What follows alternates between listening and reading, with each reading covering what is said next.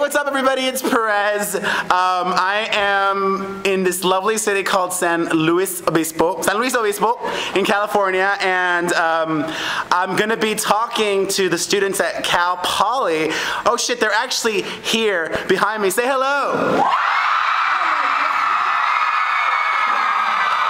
That was fucking awesome. Oh my gosh.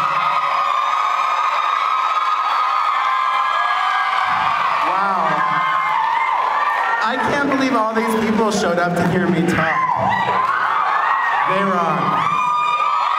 Wait, wait. And uh, San Luis Obispo is the hometown of Zac Efron. So let me let me see y'all do the wave for Zac Efron.